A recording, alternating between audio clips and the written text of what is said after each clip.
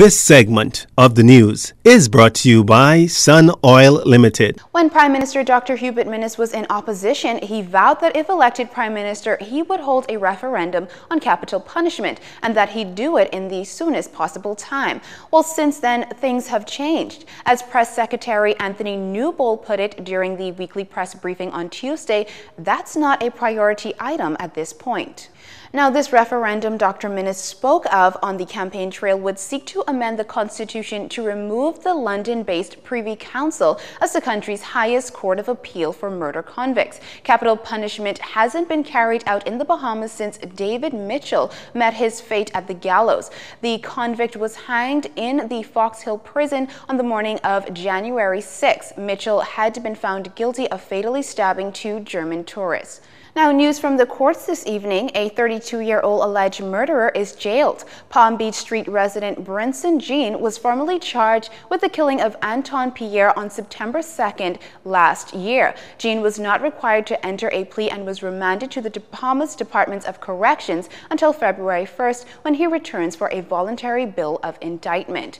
Also spending time on remand is a defense force officer who was arraigned on gun possession charges. 33-year-old Anthony Jennings, seen in green shirt, was charged along with 35-year-old Jason Nottage in the orange shirt with possession in with possession of a unlicensed firearm. It is alleged that on December 4th, while in New Providence, the pair found in possession of a black 9mm Taurus. On the same day, they were found in possession of 12 unfired rounds of ammunition. They pleaded not guilty to both counts of and were remanded to the Department of Corrections until February 5th 2018 when they will return to court for trial.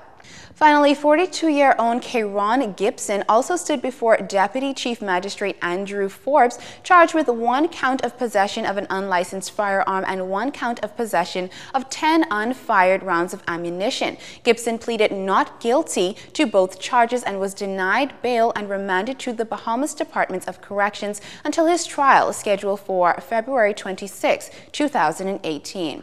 Now, an island-wide manhunt for the gunman behind an overnight shooting that's left three men wounded. Police say they were alerted to the incident shortly before 9 last night. Reports are that the victims were in the area of a park on Nichols Court, Yellow Elder Gardens, when a gunman opened fire before taking off. At last report, the wounded were all in stable condition. Investigations are ongoing. Meantime, another man's arrested after being found with an illegal firearm. Intelligence-led officers searched a car wash in the area of Mackey and Primrose Streets yesterday and found a Glock 21 pistol and 13 rounds of ammunition along with marijuana while Travis Robinson again on the defending end, this time for allegations circulating on social media that he extorted a government contract worker in his constituency. The Bain and Grantstown minister said those allegations are false. Well, the only comment I have to that is those comments are totally false. They are fabricated. They have no merit. Um, I continue to work hard for the people inside my constituency. And Prime Minister stands behind the work that we have begun and we're going to see it through to completion. But there is no uh, further comments on that. It's simply fabricated by um, I don't know who it doesn't matter for because my focus remain on the constituency at this time. Now when pressed as to if he had a meeting with the deputy prime minister on those allegations he said he has not and this is likely a political attack. No, there's no meeting with the DPM on this issue. Um, in fact, it was a total shocker to me. I mean, again, I understand that we are in a political climate and the uh, opposite operators will do whatever they think is necessary to attack uh, myself, my character, or whatever it may be. But I stand firm on, on the truth that these statements are totally fabricated.